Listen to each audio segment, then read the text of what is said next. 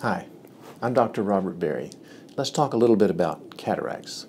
Now you have to learn a little anatomy. This is an eye model. In your eye you have the cornea in the front, a watery space.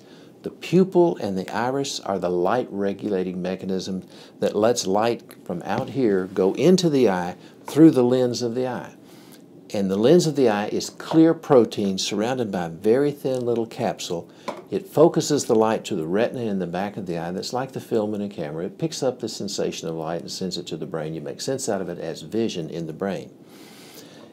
In kids, the lens is absolutely perfectly clear, like glass under water. In adults, it always has a little bit of a tinge to it. And if it's really got a lot of color and fogginess, that's a cataract. Here's an example of a cataract okay? Standard cataract, yellow brown, and it's physically harder than the normal natural lens. Think of it like an egg with an egg white. When you, when you put it in a frying pan, the white of the egg is clear. And as soon as the heat hits that protein, it turns it white. It's the same protein, but you've altered the structure with heat. In people, over the years, the structure of the protein is altered and it's no longer transparent. Now it gets foggy and hazy and you can't see out. The doctor can't see in to check the condition of the eye. Cataract surgery removes the lens of the eye.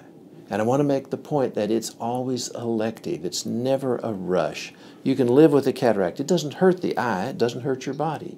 You just can't see through it. It blocks the vision, but it doesn't damage it. And when you fix the cataract, you should get your vision back.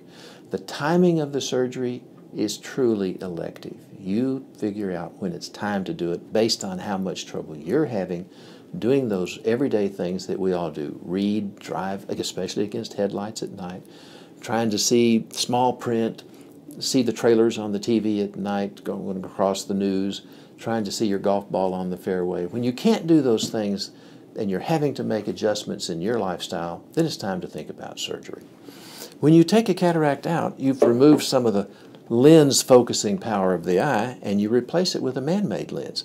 Man-made lenses are smaller than the natural lens, but you put them in the same place and they literally kind of rattle around for a bit before the capsule bag shrink wraps around it and holds it firmly. And then it should be set for life.